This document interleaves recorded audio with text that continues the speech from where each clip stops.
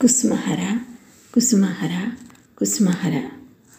ఉపదేశామృతంలోని ప్రకృతి రహస్యంలో మరికొన్ని మాటలు ప్రభు మాటలు విందామా? అపారమైన ఈ సముద్రము మనకు తెలియదు కాబట్టి దూరం నుంచే నీళ్ళు తాకి ఒక్క నమస్కారం చేయడం మేలు. ఈ విధంగా చేస్తే భయం ఉండదు నిశ్చింతగా జీవనం గడపవచ్చు. వాటి శక్తి వాటికే తెలియవలే. దురభిమానంలో నిండిన నరకీటకాలకు ఏం తెలుస్తుంది ఏమి చేస్తున్నారో తెలియకుండా మనుషులు ఈ సముద్రాన్ని అనేక విధాల వధించబోతారు. సుధామయుడైన చంద్రుడు పుట్టిన సముద్రంలోనే హాలాహలం కూడా పుట్టిందన్నమాట వాళ్ళు మర్చిపోతారు.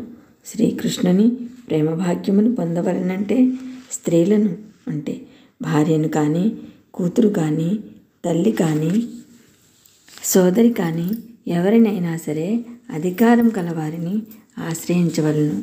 వాళ్ళ వల్లనే కృష్ణ ప్రేమ జనిస్తుంది. నీ కుమార్తెను కుమార్తె కదా అని నిర్లక్ష్యంగా చూడకు. ప్రేమస్వరూపిణులే ఈ క్షేత్రానికి దారి చూపించగలవారు. వాళ్ళతో తమాషాలకు పోతే రాధాకుండము చూపించడానికి బదులు నరకకూపం చూపిస్తారు. మనము భ్రాంతిలో ఉండి వస్తుతత్వం గ్రహించలేక రాధాకుండమనే భావంతో నరకకూపం ఆశ్రయించి మహా దుఃఖాన్ని పరమానందంగా ఎంచుకు ఎంచుతూ మునిగి తేలుతూ ఉంటాము. మనకు దారి తెలియని ప్రదేశంలో దారి చూపించే వాళ్ళతో తమాషాలకు పోతే మన నాశనానికి కారణం అవుతుంది. ప్రేమస్వరూపిణులైన వీరిని మన అజ్ఞానం చేత ఆలాహలంగా మార్చి అందులో దగ్ధమైపోతాము. ఏ సముద్రంలో రత్నములు చంద్రుడు అమృత కలసము పుట్టినవో ఆ సముద్రంలోనే భువనములను హరించే ఆలాహలం కూడా పుట్టింది. శ్రీమన్నారాయణుని వలె రసగ్రహణ పారేణులు కాకపోతే అమృతము లక్ష్మి లభించవు. శివుని వంటి సాహసికులకు గరళమే సుఖదుఖములతో అల్లకల్ అల్లకల్లోలంగా ఉండే సంసార సముద్రాన్ని రసగ్రహణ పారిణులు మాత్రమే దాటుతాడు దాటుతారు. ఇతరులు మునిగిపోతారు. లాభ నష్టాలుండే చోట ప్రాజ్ఞులు లాభము ఆశించరు. సరికదా? అటువైపు వెళ్ళను కూడా వెళ్ళరు. మహాజను ఏన గతస్స పంథా అనే శక్తి ఉండనే ఉన్నది.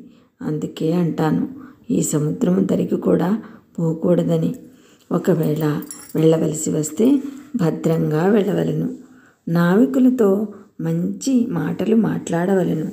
వారి సహాయంతోటే ఆ రసిక శేఖరుని రాజ్యంలో ప్రవేశించవచ్చు.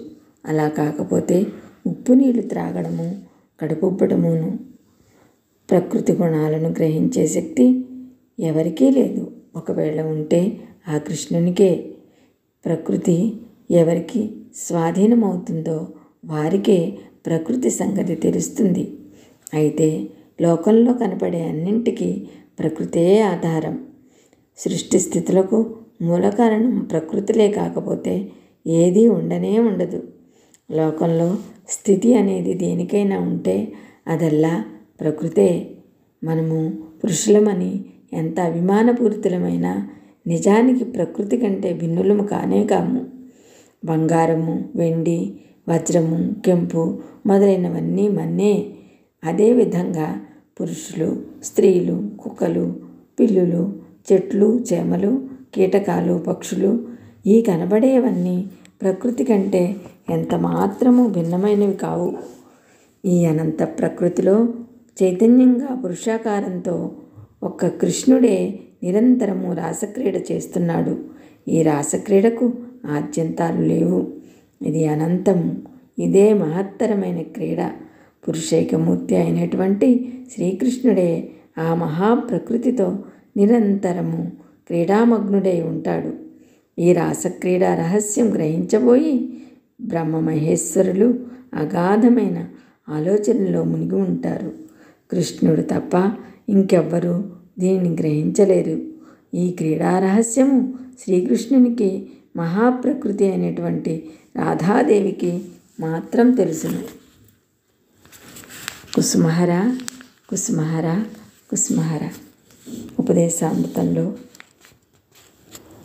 ప్రకృతి రహస్యంలోని మాటలు ప్రభు మాటలను మరికొన్ని తర్వాత విందాం.